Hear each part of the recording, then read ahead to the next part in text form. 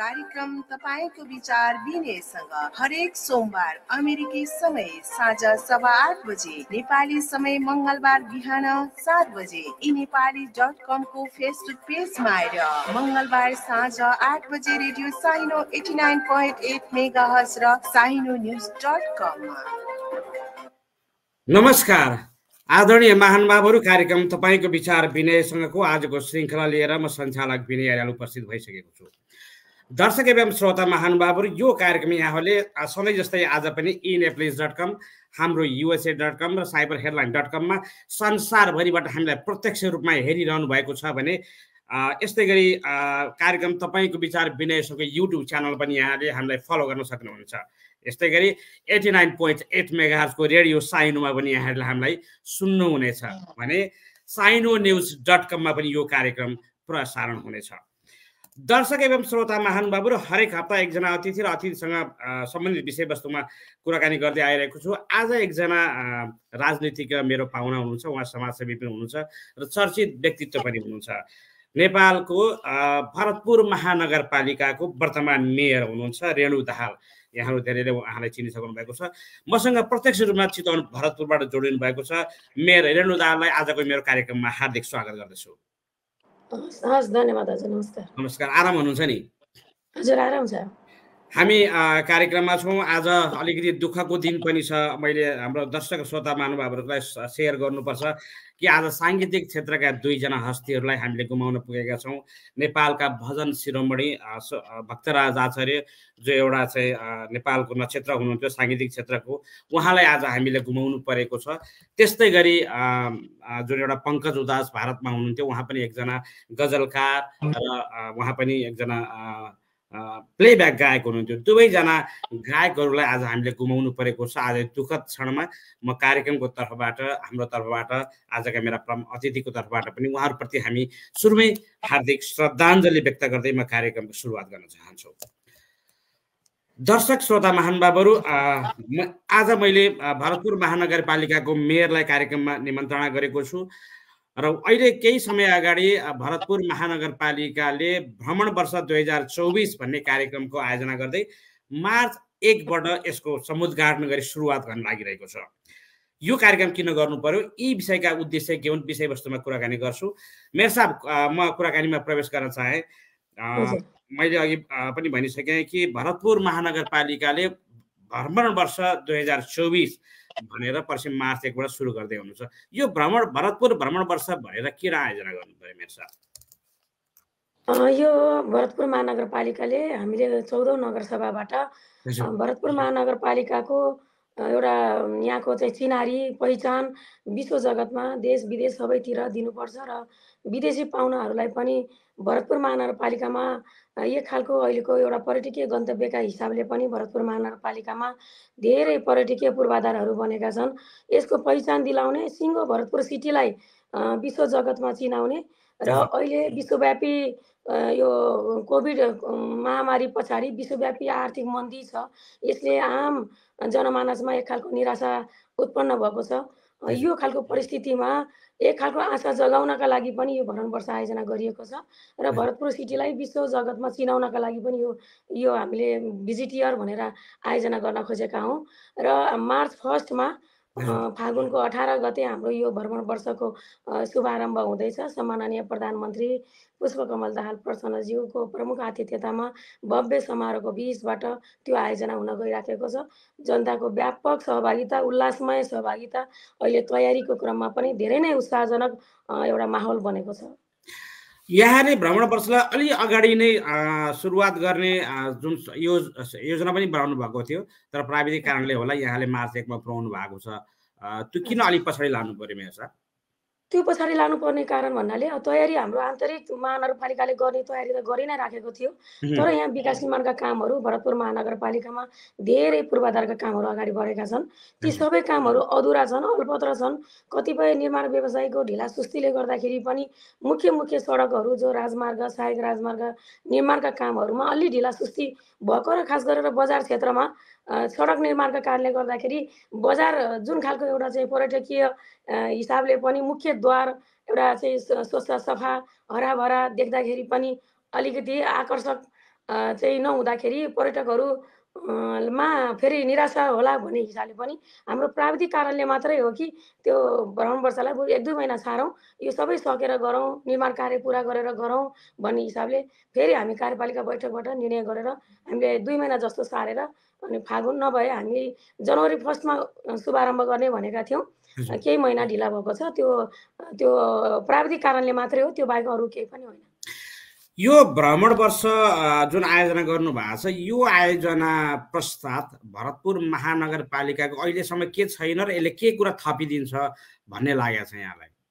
अब भरतपुर महानगरपालिकामा विकास निर्माण र पूर्वाधार एउटा गुणात्मक ढङ्गले फड्को मारेको छ। विकासको एउटा रोल मोडेलको रूपमा भरतपुर त्यो खालको परिचित सबैतिर एक खालको चाहिँ पहिचान दिन सफल भएको छ। त्यो बाहेक पनि भरतपुर हामी जो स्थानीय सङ्घीय लोकतान्त्रिक गणतन्त्र स्थापना पछाडिको पहिलो एउटा संस्थापक मेयर हुनुको नाताले दुई हजार चौहत्तर सालमा निर्वाचित जनप्रतिनिधि न भरतपुर महानगरपालिकाको नगर प्रमुखको हैसियतबाट पहिलो कार्यकाल पाँच वर्ष कार्य सम्पादन गरियो। फेरि दोस्रो कार्यकालको लागि पनि भरतपुरवासी जनसमुदायले अत्याधिक मतबाट निर्वाचित गराइदिनु भयो र अहिले यो दुई वर्ष पहिला पाँच वर्ष अहिले यो दुई वर्ष सात वर्षको अवधिमा काम गर्दाखेरि धेरै सुरुवात गरेका कामहरू पनि सम्पन्न हुँदैछन्। र अब विकासमा पनि एउटा राम्रो पहिचान दिन सकेको छ। त्यो सँगसँगै हामी कार्य सम्पादनमा पनि भरतपुर महानगरपालिकाले एउटा छुट्टै पहिचान दिन सकेको छ। हामी कार्य सम्पादनमा उत्कृष्ट नतिजाहरू हासिल गरेका छौँ। नेपाल सरकारका विभिन्न निकायहरूबाट गरेका मूल्याङ्कनहरूमा पनि भरतपुर महानगरपालिका हामी सहरी पूर्वाधार विकासमा हामी उत्कृष्ट भएका छौँ। हामी प्राकृतिक स्रोत तथा वित्त आयोगको जो चाहिँ मूल्याङ्कन छ त्यसमा पनि सात सय त्रिपन्न पालिकामा देशैभरि हामी दोस्रो छौँ भने महानगरपालिका मध्ये हामी पहिलो भएका छौँ। गएको वर्ष पनि हामी पहिलो थियौँ यो वर्ष पनि हामी महानगरमध्ये पहिलो नै भएका छौँ र हामी खेल पूर्वाधार निर्माण खेल गतिविधि गर्नेमा पनि राष्ट्रिय खेलकुद परिषदले गरेको मूल्याङ्कनमा सात सय त्रिपन्न पालिकामध्ये भरतपुर महानगरपालिका एउटा उत्कृष्ट भएर चाहिँ हामी पुरस्कृत र सम्मानित भएका थियौँ। हामी अरू यहाँ चाहिँ आर्थिक पारदर्शिता मितव्ययतामा पनि हामी उत्कृष्ट छौँ। मलेपामा झन्डै शून्य बेरुजु भरतपुर महानगरपालिका सबभन्दा अब्बल साबित भएको छ। होइन विगतमा पनि आउने दिनमा पनि त्यो हामी हुनेछौँ भन्ने हामीलाई विश्वास छ। यसर्थ हामी हरेक स्थानीय सरकार सञ्चालन कार्य सम्पादनमा पनि होइन त्यसमा पनि हामी उत्कृष्ट भइ हुँदै आइराखेका छौँ। अब त्यो हिसाबले हेर्दाखेरि नतिजामा पनि हामी एउटा एउटा राम्रो नतिजा दिन सफल भएका छौँ। यो यी सबैको बिचबाट अघि मैले भने अहिले आर्थिक मन्दीका कारणले गर्दाखेरि जनतामा थोरै निराशा छ आक्रोश छ। यो खालको परिस्थितिमा अनि एक खालको एउटा उत्साह जगाउँ एउटा एउटा जागरण र एउटा उत्साह जगाउँ यसले एउटा केही न केही सकारात्मक सोच र ऊर्जा एउटा तरङ्ग ल्याओस् भन्ने हिसाबले होइन एउटा चाहिँ उत्साह सबैमा जागोस् भन्ने हिसाबले यो यो चाहिँ बजार जो अलि चलायमान छैन यसलाई पनि थोरै चलायमान पनि होस् जनताको जीवनस्तर पनि माथि उठोस् अलिकति त्यो खालको आत्मविश्वास सबैलाई पैदा होस् भन्ने हिसाबले महानगरपालिका जो स्थानीय त होइन पालिकाले आँट गरेको हो कि यो परिस्थितिमा हामीले आँट गरेका छौँ। होइन एक खालको गरौँ सकि गर सकारात्मक उद्देश्य राखेर होइन जनताप्रति नै लक्षित गरेर जनसमुदायलाई लक्षित गरेर यो गर्न खोजेको सायद पालिकाहरूमा पहिलो हामी भरतपुर महानगरपालिकाले यति ठुलो यो परिस्थितिको बिचबाट हामीले आँट गरेका छौँ। र जनताको पनि के छ भने जनसमुदायको एउटा उत्साहजनक छ एकदमै माहौल राम्रो छ। अब घटीमा पनि हामीलाई के आकलन छ अहिलेसम्मको भने त्यो उद्घाटन समारोहमा होइन? अब हाम्रो भरतपुर चितवनवासी सबैतिर हेर्दाखेरि लगभग झन्डै पचास हजारभन्दा माथिको सहभागिता न्यूनतम भन्छु मैले न्यूनतम पचास हजारभन्दा माथिको सहभागितामा एउटा भव्य एउटा शुभारम्भ कार्यक्रम भ्रमण वर्षको उद्घाटन कार्यक्रम हुँदैछ। हुँदैछ सायद चितवनको एउटा चाहिँ हिस्ट्रीमा चाहिँ योभन्दा अगाडि पनि यति ठुलो जमघट थिएन। सायद त्यति ठुलो जमघट हामी मार्च फर्स्ट फागुन अठार गते त्यो उद्घाटन समारोहमा हुँदैछ। त्यस कारणले गर्दाखेरि यसले एउटा सकारात्मक ऊर्जा एउटा चाहिँ उत्साह जागोस् भन्ने नै हो हाम्रो। बजार बजार चलायमान होस् भन्ने उद्देश्य नै हो हाम्रो। त्यो सँगसँगै भरतपुर देशकै एउटा मध्यभागमा छ। देशको राजधानी नभए तापनि प्रदेशको राजधानी नभए तापनि भरतपुर महानगरपालिका आर्थिक विकासको केन्द्र आर्थिक गतिविधिको केन्द्र एउटा व्यावसायिक केन्द्र बन्न सक्ने जो प्रचुर सम्भावना छ। दुई छिमेकी देशको पनि दुई छिमेकी राष्ट्रको पनि बिचमा हामी छौँ सिङ्गो नेपाल राष्ट्रको पनि मध्यभागमा हामी छौँ। यो हिसाबले हेर्दाखेरि यहाँका हरेक पूर्वाधारका योजनाहरू कार्यक्रमहरू अन्तर्राष्ट्रिय स्तरका गतिविधिहरू हरेक चिजहरू यहाँ हुँदाखेरि जो भइराखेको छ यसले गर्दाखेरि भोलिको एउटा भविष्य भरतपुरको राम्रो छ। अहिलेदेखि नै त्यो त्यो दिशातर्फ हामी अगाडि बढौँ भन्ने मात्रै उद्देश्य हो हाम्रो यो भ्रमण वर्षको उद्देश्य चाहिँ।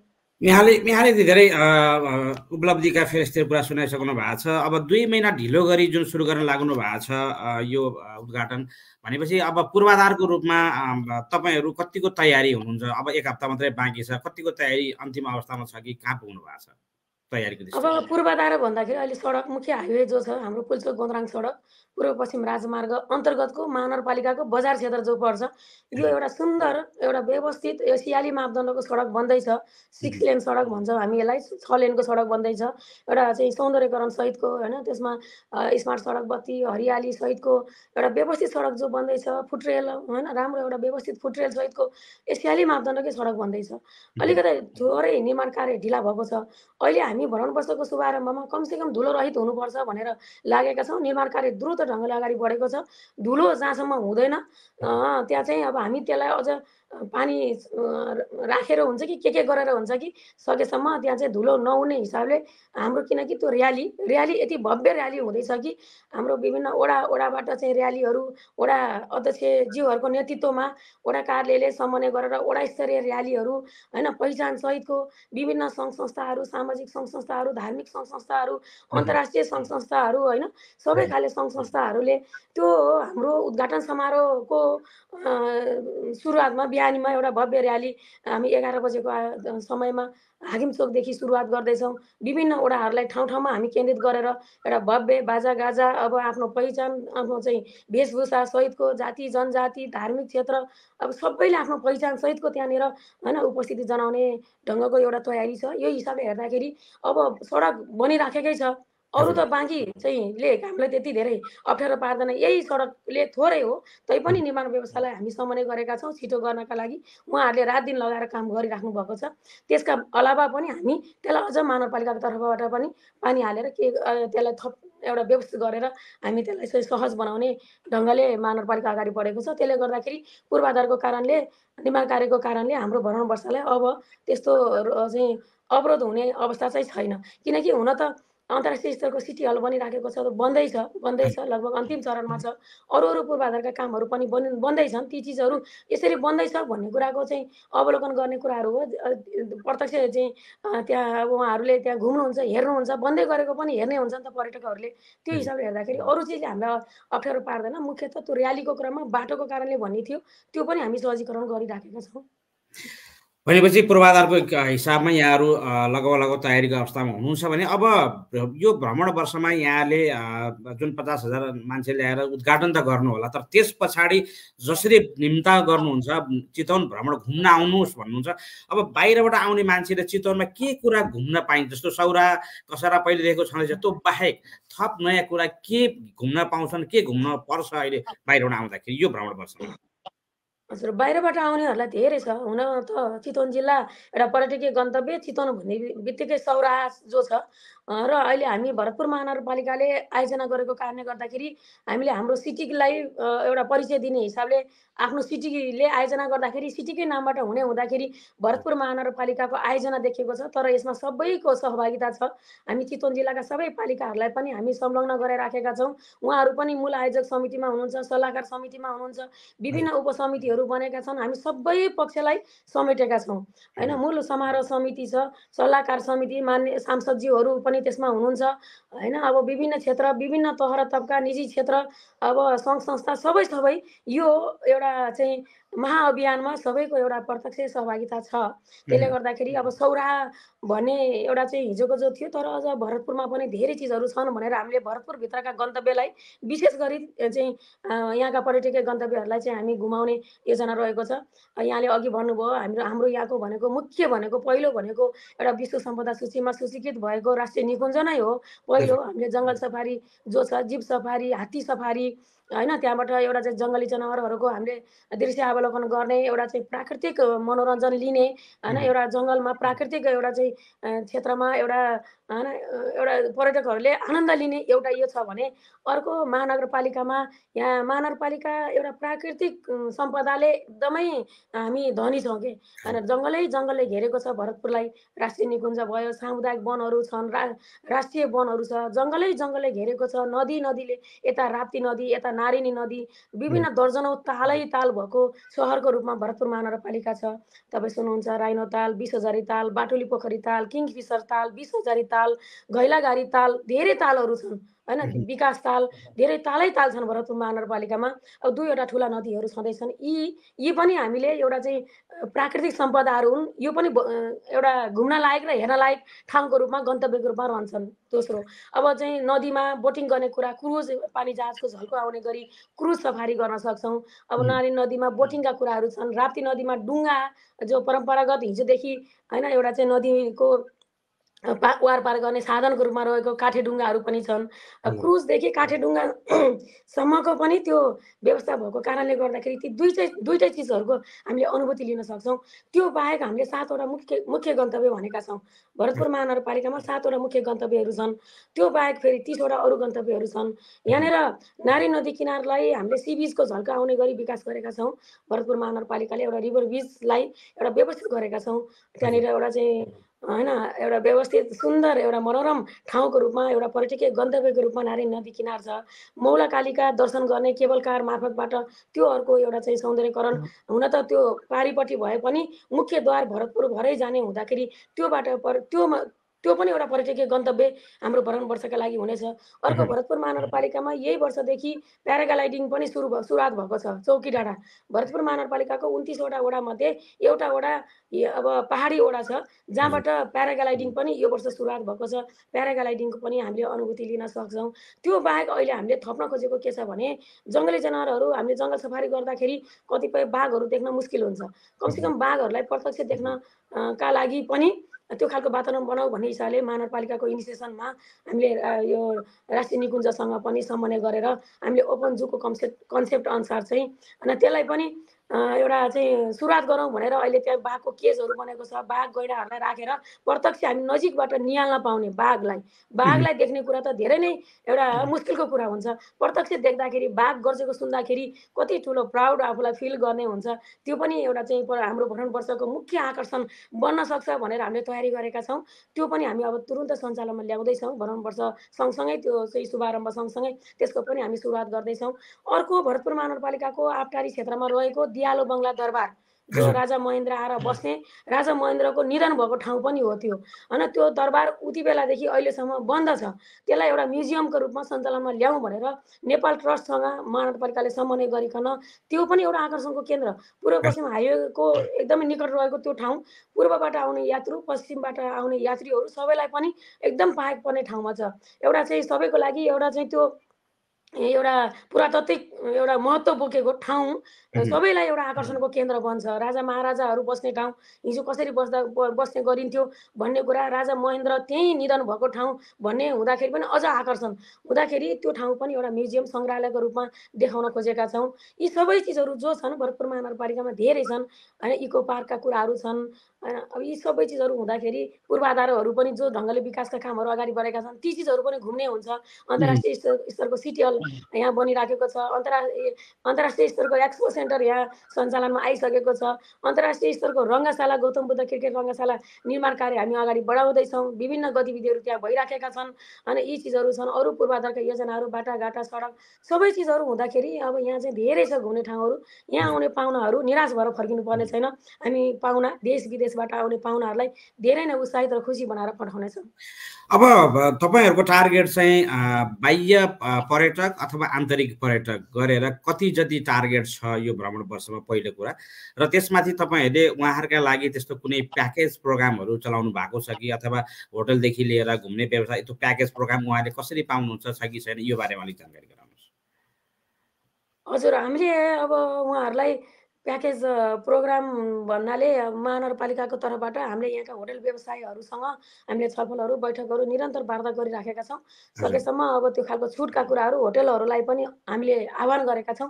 उहाँहरूले अब त्यो छुटको अफरहरू पनि दिनुभएको छ। हामीले हाम्रो वेबसाइटहरूमा पनि हालेका राखेका छौँ महानगरपालिकाले आफ्नो वेबसाइट पनि बनाएको छ भिजिट भरतपुर भनेर। त्यहाँबाट पनि हामी धेरै चिजहरू चाहिँ जानकारी लिन सक्छौँ। अब। होटल व्यवसायीहरूले पनि कसैले बिस कसैले तिस पर्सेन्ट होइन? अब अफिसियल ढङ्गले आउँदाखेरि चालिस पर्सेन्टसम्म पनि छुट दिन सकिन्छ भन्ने कुराहरू छन्। त्यो त्यो चिजहरू हामी समन्वय गरिराखेका छौँ र उहाँहरूलाई देश विदेशबाट आउने पाहुनाहरूलाई सकेसम्म महानगरपालिकाले उहाँहरूलाई यहाँको उहाँहरूको भ्रमण सहज बनाउनका लागि त्यो खालको संयन्त्र सबै चिजहरू हामी परिचालन गर्नेछौँ। भनेपछि सबै जानकारीहरू चाहिँ महानगरपालिकाको वेबसाइट मार्फत प्राप्त गर्न सकिन्छ भन्नुभएको छ। त्यो वेबसाइट सञ्चालित छ? सञ्चालित छ। त्यो वेबसाइट सञ्चालित छ। त्यो एप्समा एप्स महानगरपालिकाले त्यो बनाइसकेको छ र अहिले हामीले त्यो सार्वजनिक पनि गरिसकेका छौँ। त्यो भित्र गइसके पछाडि हाम्रा पर्यटकीय गन्तव्यहरू कहाँ कहाँ हुन् सबै चिजको सूचना सबै चिजको सूचना त्यहाँभित्र छ। त्यसले गर्दाखेरि त्यसले धेरै सजीकरण हुन्छ। अब अहिले अघि यहाँले सुरुमा नै भन्नुभएको थियो यो अर्थतन्त्र अलिक मन्द भइरहेको बेलामा अलिकति यसलाई चलायमान बनाउनका लागि भनेर जुन भन्नुभएको छ। अहिले स्थानीय व्यापारीहरू होटल लगायतका सङ्घ संस्थाहरूबाट र विशेष गरी राजनीतिक पार्टीहरूबाट यो भ्रमण वर्षलाई सफल बनाउन कतिको सहयोग प्राप्त गर्नुभएको छ यहाँले? होइन सबैबाट राम्रो सकारात्मक सहयोग छ। किनकि राजनीतिक पार्टीहरू यहाँका सङ्घ संस्थाहरू यहाँका निजी क्षेत्रहरू यहाँका सरकारी अब चाहिँ कार्यहरू सबैको एकदम सकारात्मक ढङ्गले एउटा चाहिँ सहयोग रहिराखेको छ। उहाँहरू सबै कुनै न कुनै समितिहरूमा उहाँहरू आबद्ध हुनुहुन्छ। अघि मैले भने अहिले अब हामीभन्दा माथिल्लो ओहदामा भएका व्यक्तित्वहरूलाई हामीले सल्लाहकार समिति भनेका छौँ। महानगरपालिका मूल समारोह समिति आयोजक समिति भनेर मेयरको संयोजकत्वमा छ। त्यहाँभित्र पनि धेरैजना लगभग होइन अब ट्वेन्टी ट्वेन्टी फोर भनेका छौँ। ट्वेन्टी ट्वेन्टी फोरकै हामीले मूल समारोह समिति होइन निर्माण गरेका छौँ। अस्ति हामी बैठक बसेर पनि त्यसको चाहिँ बाँकी तयारीका कामहरूका बारेमा अरू जानकारी दिने कुरामा हामी एउटा चाहिँ वृहत बैठक पनि बस्यौँ त्यो समितिको। अनि विभिन्न विषयगत समितिहरू छुट्टा छुट्टै सेक्टरको समितिहरू छन्। निजी क्षेत्रहरू धेरै उत्साहित भएर लाग्नुभएको छ राजनीतिक दलहरूको सबैको साथ सहयोग रहेको छ। सहयोग नहुने कसैको पनि छैन। सबैको उत्साहमय एउटा वातावरण र सहयोग चाहिँ एउटा चाहिँ हर्ष उल्लासका साथ रहिराखेको छ। सबैको राम्रो सहयोग रहेको कुरा म जानकारी गराउन चाहन्छु। मेरा तपाईँहरूको केही टार्गेट छ? हामी बाहिर आन्तरिक कति पर्यटक अघि हजुरले यो प्रश्न सोध्नु भएको थियो मैले प्रश्न के बिर्सेँ जस्तो लागेको थियो यो चाहिँ के छ भने हामीले विदेशी पर्यटकहरू चाहिँ विदेशी पाहुनाहरू दुई लाख भित्राउने हाम्रो लक्ष्य रहेको छ। स्वदेशी हामीले पाँच लाख न्यूनतम पाँच लाख भित्राउने गर्दाखेरि हामीले सात लाखको लक्ष्य लिएका छौँ। एक वर्ष।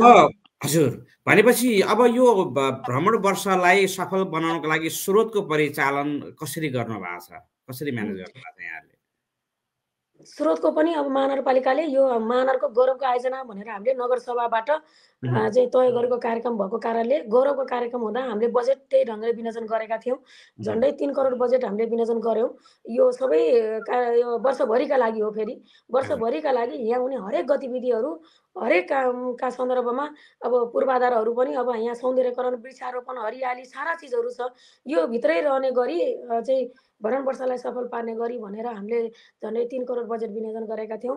हामीलाई सङ्घीय सरकारबाट पनि प्रवर्धन गर्ने भरण वर्षलाई प्रवर्धन गर्न सपोर्ट पुरा पुर्याउनका लागि सङ्घीय सरकारबाट पनि हामीलाई सत्तरी सत्तरी लाख रुपियाँ बजेट अहिले हामीलाई विनियोजन भएर आएको छ।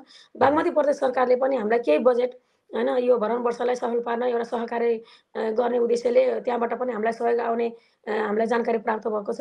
त्यो सँगसँगै यहाँका विभिन्न क्षेत्र निजी क्षेत्रहरू होइन सङ्घ संस्थाहरूले पनि स्वतस्फूर्त ढङ्गबाट भरण वर्षलाई सहयोग गर्नका लागि उहाँहरू पनि आफ्नो लगानी आफ्नो सहभागिता जनाइराख्नु भएको छ। होइन अब यो तयारीका सन्दर्भमा धेरै चिजहरू जस्तो कि पर्सिको उद्घाटन समारोहमा पनि सौजन्य स्वरूप अब विभिन्न पानीदेखि लिएर अरू सहजीकरणका कुराहरू सबै चिजहरूमा निजी क्षेत्रहरूको सङ्घ संस्थाहरूको पनि सहभागिता छ। यो कार्यक्रम बिल्कुल महानगरपालिकाको मात्रै कार्यक्रम नभएर महानगरवासी चितवनवासी सबै नेपालीहरू कै नै कार्यक्रम बन्ने खालको किनकि मध्य भागमा छ। यो देशैभरिको लागि पनि सबैको एउटा अपनत्व हुने हिसाबले चाहिँ यो तयारीको कामहरू अगाडि बढेको हुँदाखेरि सबैको सहभागिता छ। यो हिसाबले हामीले आर्थिक पनि परिचालन गरेका छौँ र सबैसँग समन्वय पनि गरेका छौँ। तहगत सरकारहरूसँग पनि समन्वय गरेका छौँ। विभिन्न सङ्घ संस्थाहरूसँग पनि हामी समन्वय गरेका छौँ र सबैको कार्यक्रम हो भन्ने हिसाबले पनि यसलाई ग्रहण गरेको अवस्था रहेको छ। तपाईँ दोस्रो कालको नगर प्रमुख र यो अहिलेको भ्रमण वर्षको पनि संयोजक हुनुहुन्छ। र यो तपाईँले यति सबै कुरा भनिसक्दाखेरि अब यो भ्रमण वर्ष पूर्ण रूपमा सफल हुनु हुन्छ भन्नेमा तपाईँ कतिको आश्वस्त हुनुहुन्छ? म त पुरा विश्वस्त छु किनकि यो भरण वर्ष मेयर रेणुको दाहालको लागि आवश्यकता थिएन।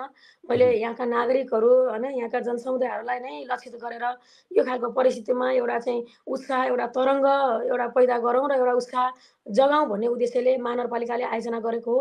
महानगरपालिकाको नगरसभाले तय गरेको कार्यक्रम हो। कार्यपालिका बैठक हुँदै हामी नगरसभाबाट यसलाई चाहिँ तय गरेका थियौँ र त्यही ढङ्गले एउटा गौरवको कार्यक्रम भनेर हामीले आयोजना गरेका थियौँ। एउटा पर्यटकीय गन्तव्य हुँदै गर्दाखेरि पनि भरतपुर अलि ओजेलमा परेको।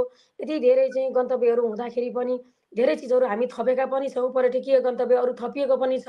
कमसेकम यो बेला बेला भयो भन्ने हिसाबले पनि यो गर्न खोजिएको। यो हुँदाखेरि हामी त मात्र के हो भने आयोजक मात्रैको रूपमा भरतपुर महानगरपालिका रह्यो तर यसको प्रत्यक्ष लाभ योबाट प्रत्यक्ष प्रभावित भनेको नागरिकलाई नै जाने हो।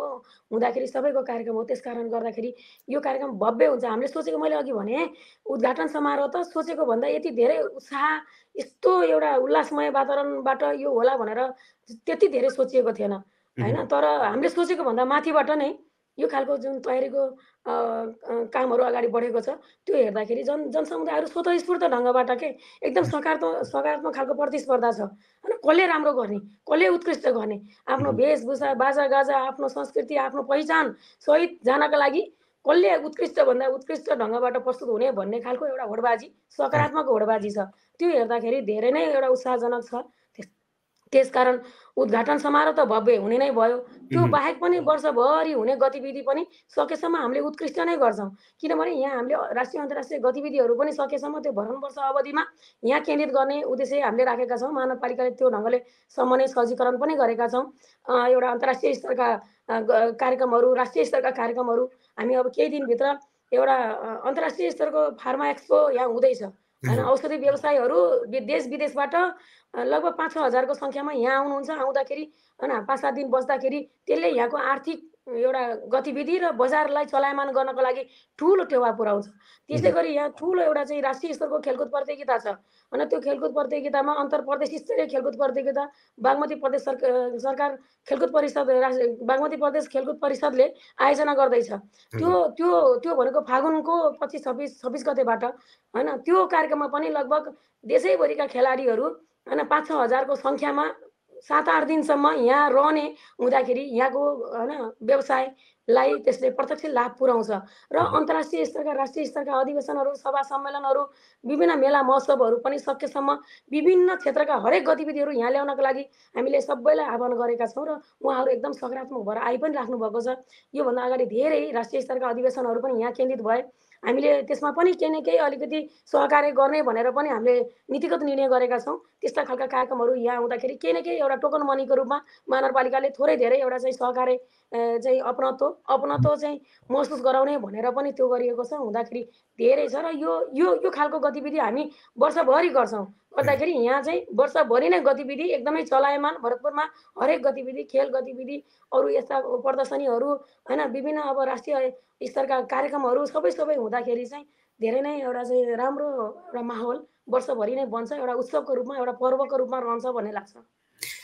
हामी पनि शुभेच्छा व्यक्त गर्छौँ। तपाईँले भन्नुभयो चाहिँ यो भ्रमण वर्ष सफल रहोस् शुभेच्छा व्यक्त गर्छु। अब तपाईँले अहिले अलिक केही समय अगाडि न्युज पनि आएको थियो कि मन्त्री परिषदको एउटा बैठक पनि भारतमा बस्ने गरी तयारी भइरहेको छ।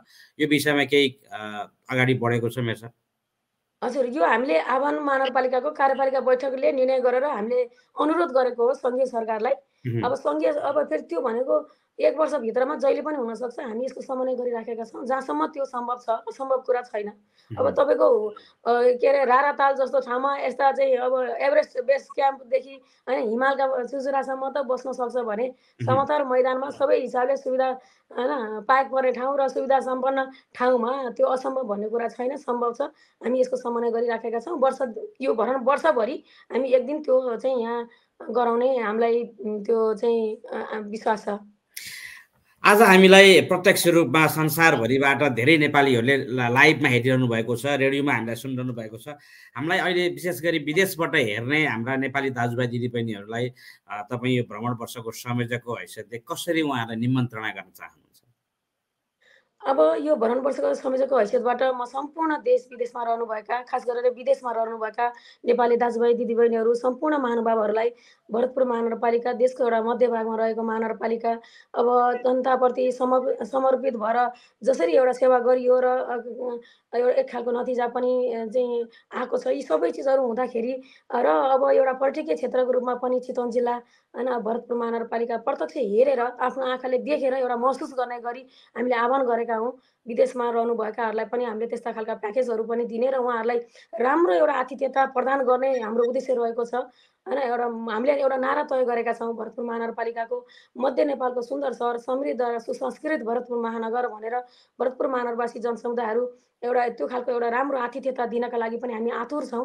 यसले गर्दाखेरि सम्पूर्ण विदेशमा रहनुभएका महानुभावहरूलाई यो भरण वर्षमा एकपटक कमसेकम वर्षभरि एकपटक आएर प्रत्यक्ष यहाँका हरेक चिजहरूको अनुभूति र एउटा प्राकृतिक एउटा सम्पदा सारा यो यहाँका चाहिँ गन्तव्य पर्यटकीय गन्तव्यहरू जे एउटा घुम्ने ठाउँहरू यी छन् यसको चाहिँ प्रत्यक्ष यहाँहरू आएर यसको अनुभूति लिइदिनु हुनका लागि हामी विनम्रतापूर्वक अनुरोध गर्न चाहन्छौँ। महानगरपालिकाको तर्फबाट म अनुरोध गर्दछु सम्पूर्णलाई एकचोटि भरतपुरमा आइदिनुहोस्। हाम्रो एकदमै अनुरोध छ। हामीले यहाँहरूलाई एउटा आतिथ्यता प्रदान गर्नका लागि महानगरपालिका आतुर छ। हामी आतुर छौँ। यही अनुरोध गर्न चाहन्छु। एकदमै मेयर साहबले भन्नुभएको छ देशदेखि विदेशसम्मका सबै नेपालीहरूलाई जुन निमन्त्रणा गर्नुभएको छ आदरणीय दर्शक एवं श्रोता महानुभावहरू म पनि आज कार्यक्रमको होस्टको एउटा नाता र मेरो पनि होम टाउन भरतपुर भएका नाताले पनि यो भ्रमण वर्षलाई सफल पार्नका लागि यो वर्षभरिमा कहीँ न कहीँबाट जहिले समय मिल्छ। विदेशबाट विशेष गरी नेपाल जाँदाखेरि भरतपुर घुम्ने हिसाबले गइदिनका लागि म पनि कार्यक्रमको तर्फबाट हार्दिक अनुरोध गर्न चाहेँ। मेरो साहब अब भरतपुर भ्रमण वर्षको कुरालाई छोडेर अलिकति म अब तपाईँको यात्रातिर थोरै कुरा जोड्न चाहेँ। तपाईँ पहिलो कार्यकाल सम्पन्न गरी मेरा कामहरू अधुरा छन् योजनाहरू अधुरा छन् पुरा गर्छु भनेर दोस्रो पटकका लागि मेयर लड्नुभयो सफलता पनि प्राप्त गर्नुभयो। दोस्रो कार्यकाल कसरी अगाडि बढिरहेको छ? यहाँले भन्नुभएका योजनाहरू सफलताहरूमा यहाँ कति अगाडि बढ्नु भएको छ? यो बारेमा थोरै जानकारी गराइदिनुहोस् न मेरो हजुर। अब दोस्रो कार्यकालमा मैले भनेको थिएँ जनसमुदायको बिचमा कि आफूले सुरुवात गरेका कामहरूलाई सम्पन्न गर्नु छ। केही नयाँ थप कार्यक्रमहरूलाई पनि अगाडि बढाउनु छ। ठुल्ठुला एउटा चाहिँ गौरवका राष्ट्रिय गौरवकै महत्त्व बोकेका योजनाहरूलाई पनि अगाडि बढाउनु छ। त्यसकारण भरतपुरले सधैँभरि यो चाहिँ अवसर नपाउन सक्छ। एकचोटिका लागि यी सबै चिजहरू गर्नका लागि एकचोटिलाई भोट भनेर मैले भनेकै हो। र त्यो हिसाबले अगाडि बढ्दाखेरि जनसमुदायहरूबाट अत्याधिक मत दिनुभयो र भारी मतले जिताइदिनु भयो त्यसलाई कति पनि अब अब एउटा चाहिँ कमजोर हुन नदिने हिसाबले म सकेसम्म जनसमुदायहरूलाई उहाँहरूका अपेक्षाहरूलाई पुरा गर्नका लागि र आफूले बोलेका कुराहरूलाई पुरा गर्नका लागि म दत्तचित्त भएर अगाडि बढिराखेको छु र विगतका कामहरू अगाडि बढेका छन् निर्माण कार्य सम्पन्न हुँदैछन् अघि मैले धेरै चिजहरू भने ती चिजहरू हुँदैछन्। त्यो बाहेक पनि यहाँ हामीले गर्नुपर्ने दुई तिनवटा मुख्य कामहरू थिए कि। त्यो भनेको भरतपुर एयरपोर्ट अलिकति साँगुरो भयो सानो प्लेनहरू मात्रै आउने। अब त्यो सानो प्लेन पनि फेज आउट हुँदैछ। बुद्ध एयरका जम्मा तिनवटा प्लेनहरू छन् एटिआर फोर्टी टू जहाज जम्मा तिनवटा छ तिनवटा देशैभरि घुम्ने। अब त्यसको पनि अवधि सकिसकेको छ। त्यो अवधि सकिएपछि फेज आउट भएपछि उसले त्यो एटिआर फोर्टी टूवाला जहाज नल्याउने हुँदाखेरि हाम्रो यो एयरपोर्टको होइन अर्थ रहन्थेन त्यसले गर्दाखेरि साना टु टुइनेटर जहाज मात्रै उड्नुपर्ने अवस्था हाम्रो भरतपुरमा यति धेरै विकास पूर्वाधार सबै चिजको एउटा सम्भावना बोकेको ठाउँमा कमसेकम त्यो भरतपुरको एयरपोर्टलाई विस्तार गरेर ठुलो होइन? एटिआर सेभेन्टी टू जहाज र रात्रिकालीन पनि सुविधा अब अन्तर्राष्ट्रिय खेल गतिविधि हुने अन्तर्राष्ट्रिय स्तरको सिटी हल बनिएको छ त्यहाँ गतिविधि हुने सबै यी पूर्वाधार हुँदाखेरि भोलिको दिनमा धेरै ठुलो भविष्य छ भरतपुरको।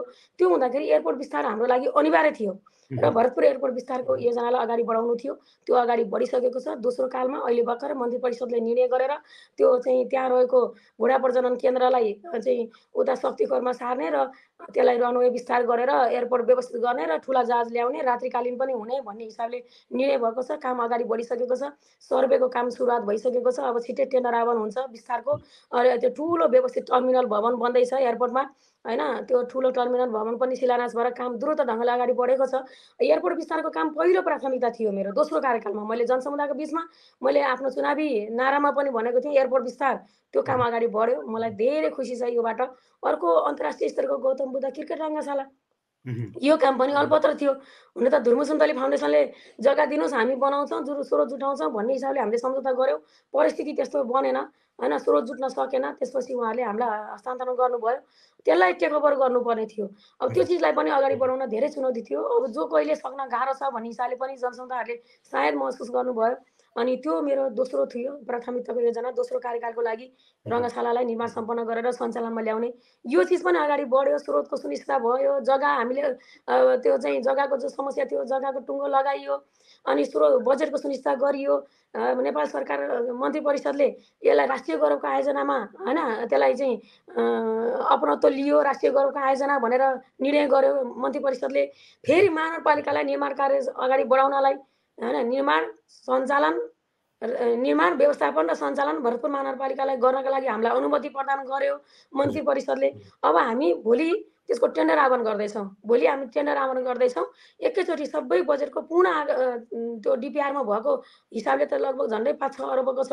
कमसेकम अहिले हामी त्यो अन्तर्राष्ट्रिय स्तरको खेल खेल्नका लागि भनेर चाहिँ हामीले त्यसको चाहिँ त्यो डिपिआर अन्तर्गतको हामीले त्योभित्रको अहिले बजेटको आफ्नो अवस्था हेरिकन गरेका छौँ र खेल्न लायकको मैदान बनाउने भिआइपी टावरहरू र अहिले त्यो तिस हजार क्षमताको चाहिँ हो त्यो रङ्गशाला। अहिले पन्ध्र हजार सिट क्षमताको रङ्गशाला बनाउने र रङ्गशाला बनाउने अब त्यसपछि फेरि हामी त्यसलाई फेस वाइज गर्दै जाने थप्दै जान नै सक्ने गरी त्यसको चाहिँ रिभाइज भएको छ डकुमेन्ट टेन्डर डकुमेन्ट अनि अथवा त्यसको चाहिँ डिपिआर र अब फेस वाइज गर्ने हिसाबले हामी अगाडि बढेका छौँ र अब त्यसको टेन्डर हुँदैछ भोलि भोलिसम्म त्यसको टेन्डर आह्वान गर्ने हामी तयारीमा जुटेका छौँ। अब रङ्गशाला अन्तर्राष्ट्रिय रङ्गशाला पनि बन्दैछ। होइन सिग्नेचर ब्रिज त्यो नारायणी पुल जो छ अब त्यो त अवधि सकिसकेको छ म्याद गुज्रिसकेको त्यसलाई छिटोभन्दा छिटो चाहिँ फेज आउट गर्नुपर्ने छ अब त्यो पनि एउटा सिग्नेचर ब्रिजको हाम्रो परिकल्पना थियो र चुनावी नारा नै थियो मेरो यो पनि।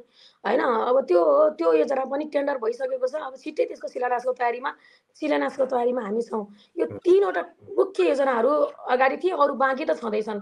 नारायणीका तटबन्धनका योजनाहरू राप्ती तटबन्धनका योजनाहरू नारायणी तटबन्धन यहाँलाई जानकारी छ होला। झन्डै चार अर्बको परियोजना ठुलो परियोजना पाँच ठाउँबाट तटबन्धन कार्य द्रुत अगाडि बढिराखेको छ। यी सबै चिजहरू हुँदाखेरि भरतपुर महानगरपालिका एउटा समृद्ध एउटा सुन्दर शान्त व्यवस्थित सुरक्षित होइन एउटा महानगरपालिका बन्ने दिशातर्फ अगाडि बढेको छ। यी सबै कामहरू गर्नका लागि पनि मैले दोस्रो कार्यकालको लागि भनेको थिएँ। दस वर्ष मेरो एकदमै एउटा युवा अवस्था भनौँ काम गर्ने बेला हो नि त यो। परिपक्व ढङ्गले चालिसदेखि पचास वर्षको उमेर भनेको परिपक्व काम गर्ने एउटा रिजल्ट दिने उमेर मैले भरतपुरमा समर्पित गरेको छु। त्यसले गर्दाखेरि नतिजा पनि देखेको छ। भोलि आउनेलाई पनि काम यसरी गर्नुपर्छ भन्ने एउटा चाहिँ शिक्षा पक्कै पनि मिल्नेछ भन्ने अपेक्षा र त्यही अपेक्षा राखेरै आफूले कर्म गर्ने हो।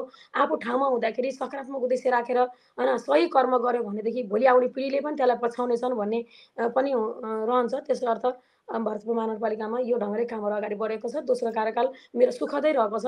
मैले अब एउटा खुसी अनुभूति गरिराखेको छु। मेयरसा तपाईँले भन्नुभएका यी सबै कुराहरूकै कारणले होला मूल्याङ्कनमा भरतपुर महानगरपालिका पहिलो नम्बरमा आयो। यहाँले अघि पनि भनिसक्नु भएको छ। गत अघ अघिल्लोचोटि पनि पहिलो वर्षमा आएको थियो अहिले पनि पहिलो वर्षमा आएको छ भनेर भन्नुभएको छ। यसका लागि यहाँ र यहाँको टिमलाई पनि हामी बधाई दिन चाहन्छौँ। र यस्तै गरी भरतपुर महानगरपालिकाको मेयरको हैसियतमा हजुरले एउटा इन्टरनेसनल मेयर अवार्ड भनेर पनि प्राप्त गर्दै हुनुहुन्छ बेलायत सरकारबाट र बेलायत जाने पनि कार्यक्रम छ यहाँको। यसका लागि म तपाईँलाई सुरुमै अग्रिम बधाई र शुभकामना दिन चाहन्छु र यो बारेमा छोटकरीमा छोटै बताइदिनुहोस्। यो यो अवार्ड सम्बन्धी कुराको बारेमा? अब यो बेलायतबाट पाउने अवार्ड मलाई पनि इमेल मार्फतबाट जानकारी आयो होइन? अब त्यो चाहिँ अन्तर्राष्ट्रिय स्तरकै अवार्ड रहेछ होइन? जनतामा भिजेर जनतालाई चाहिँ एउटा जनताको जीवनस्तर उठाउनका लागि गरेको कर्म कर्मको त्यो सबै पक्ष र सबै मेरा कामका त्यो होइन? दस्तावेजहरूलाई चाहिँ हेरेर मूल्याङ्कन गरिएको रहेछ। र म आउने मार्चको चार तारिक म बेलायत जाँदैछु। हाम्रो भ्रमण वर्षको उद्घाटनको लगत्तै बेला जाँदैछु। त्यहाँनिर त्यो त्यो एउटा अन्तर्राष्ट्रिय स्तरको अवार्ड पाउँदाखेरि मलाई धेरै खुसी लागेको पनि छ। अब त्यो चाहिँ अवार्ड पाउँछु भनेर काम गर्ने कुरा नि होइन थाहा पनि थिएन मलाई त्यो विषयको। तर अब त्यसरी चाहिँ निष्पक्ष ढङ्गबाट अन्तर्राष्ट्रिय स्तरबाट पनि त्यो खालको मूल्याङ्कन भएर पुरस्कृत हुने अवसर मिल्दो रहेछ।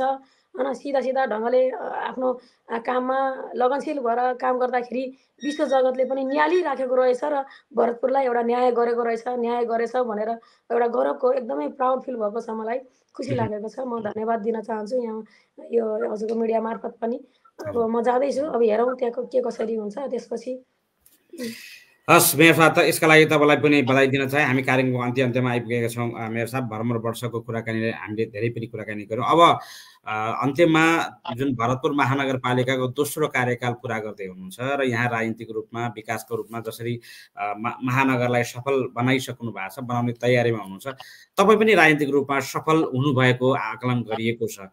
मेयर कार्यकाल सकिए पछाडि तपाईँ राजनीतिक रूपमा कसरी अगाडि बढ्ने योजना छ तपाईँको?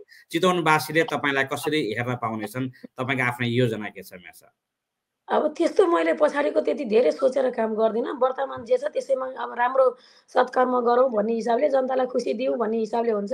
अब अहिले हामीले अब जनसमुदायलाई लक्षित गरेर होइन आफू इमान्दार बनेर इमान्दार बनेर यो हिसाबले काम गर्दाखेरि अब कामको मूल्याङ्कन त जनसमुदायले पनि गर्नु होला नि त बेला हुँदाखेरि भन्ने हिसाबले गर्ने हो। अहिले नै यो त्यो भनेर तयारीका साथ त्यो मेरो त्यस्तो उद्देश्य छैन। सायद भोलिको दिनमा मूल्याङ्कन हुन्छ होला जस्तो लाग्छ। अहिले पनि जनसमुदायको बिचमा जाँदाखेरि धेरै नै आफ्नो एउटा अपनत्व मैले पाइराखेको छु धेरै माया पाएको छु। सबै पक्ष यो पक्ष त्यो पक्ष भन्ने छैन यो पार्टी त्यो पार्टी भन्ने नै छैन। सबैको तर्फबाट अब समग्र जन समुदाय सबै सबैले पनि त्यो खालको माया सद्भाव देखाउनु भएको छ। पक्कै पनि भोलि पर्दा उहाँहरूबाट अहिले देखेको सद्भाव एउटा चाहिँ परिणाममा पनि देखेला भन्ने अपेक्षा हो। अब भोलि अब फेरि मेयर लड्ने कुरा हुँदैन त्यो मिला पनि मिल्दैन। र अब यो दुई कार्यकालभन्दा धेरै त्यो फेरि हुनु पनि राम्रो हुँदैन। जे भयो संविधानमा व्यवस्था त्यो ठिक छ। अब अब यसपछि हुने भनेको के हुन्छ? जन जन जनसमुदायले के भन्नुहुन्छ? अब सम्बन्धित पार्टीले के के हुन्छ? भोलिको परिस्थिति के हुन्छ? अब यो पछि त पक्कै पनि हिजो पनि सांसद संविधान सभाको सदस्य भएकै हो। आउने दिनमा पनि फेरि त्यो मनोनित समानुपातिक त्यस्तो होइन कि? जनताबाट प्रत्यक्ष निर्वाचित भएर जाने। किनकि यतिका काम गर्दाखेरि पनि होइन जनसमुदायले विश्वास गर्नुहुन्छ भन्ने कुरामा मलाई पुरै विश्वास छ। होइन म त्यसमा एकदमै आत्मविश्वासका साथ चाहिँ भन्न चाहन्छु कि त्यो हुन्छ नै। त्यसले गर्दाखेरि भोलिको दिनमा निर्वाचित भएर जाने एउटा उद्देश्य रहेको छ। र त्यसपछि माथि गएपछि के भन्ने कुरा त भोलिको समयले बताउँछ। तपाईँलाई राजनीतिक रूपमा पनि हामी अहिले नै सफलताको शुभकामना पनि व्यक्त गर्न चाहन्छु। एकदमै कार्यक्रमको अन्त्यमा छौँ। भ्रमण वर्षको कार्यक्रमको कुराकानी धेरै पनि गऱ्यौँ। अब अन्त्यमा जाँदा जाँदै देश तथा विदेशबाट हामीलाई हेर्नुहुने र सुन्नुहुने सम्पूर्ण दर्शक र श्रोताहरूलाई यहाँले के भन्न चाहनुहुन्छ? मैले त्यही भन्छु अघि पनि भनिसकेँ अब भरतपुर महानगरपालिकाले एउटा स्थानीय तहले यति ठुलो आँट हामी गरिराखेका छौँ र यहाँहरूले पनि होस्टेमा हैसिए र एकदम सकारात्मक हामीलाई साथ सहयोग र त्यो खालको सुझावहरू पनि दिनुहुनेछ र यसलाई सफल पार्नको लागि भरतपुर भ्रमणवर्ष सफल पार्नको लागि यहाँहरूको सकारात्मक सुझावको पनि हामी अपेक्षा गर्छौँ र बाहिर रहे तापनि यो कार्यक्रममा यहीँ छु भने अहिले अहिले त यो प्रविधिको युग छ। यो प्रविधिको युगमा हामीले सबै चिजहरू यहीँ बसेरै गरे जस्तो अहिले हजुरसँग इन्टरभ्यू लिइराखेको छ यहाँ अब प्रत्यक्ष भइराखेको छ भने जस्तो सबै चिजहरू टाढा भए तापनि अहिलेको जमाना परिस्थितिले हामी सँगै छौँ सँगै छौँ हामी सबैको कार्यक्रम हो। यो हिसाबले यहाँहरू सबैको साथ र सहयोगको हामी अपेक्षा गर्दछौँ। महानगरपालिकाको तर्फबाट यहाँहरू सबैलाई यही अनुरोध र आह्वान गर्दै यहाँहरू प्रत्यक्ष यहाँ आएर पनि यो कार्यक्रमलाई भव्य र सभ्य बनाउनका लागि सहयोगका लागि पनि म अनुरोध गर्न चाहन्छु। हस् धेरै धेरै धन्यवाद भरतपुर महानगरपालिकाका मेयर रेणु दाहाल हुनुहुन्थ्यो आजका मेरा अतिथि आदरणीय दर्शक एवं श्रोता महानुभावहरू। यो यहाँहरूले हामीलाई e Nepalese dot com cyber headline dot com र हाम्रो यो डट कममा संसारभरिबाट हामीलाई हेर्नुभयो भने एटी नाइन पोइन्ट एट मेगाजको रेडियो साइनुमा हामीलाई सुन्नुभयो। हामीलाई हेर्ने दर्शक र हामीलाई सुन्ने श्रोता तपाईँ सबै सम्पूर्ण महानुभावहरूलाई आजका मेरा अतिथि भरतपुर महानगरपालिका प्रमुख रेणु दाल र म विनय अर्यालको तर्फबाट हार्दिक आभार व्यक्त गर्दछु। अर्को साता अर्को अतिथिसँग कुराकानी गर्नका लागि अर्को विषयवस्तुमा उपस्थित हुने नै छु। तबसम्मका लागि हामी सब दुवैजनालाई आजका लागि आज्ञा दिनुहोस्। मेयर साहबलाई पनि हार्दिक धन्यवाद व्यक्त गरेँ। धन्यवाद। नमस्कार। नमस्कार।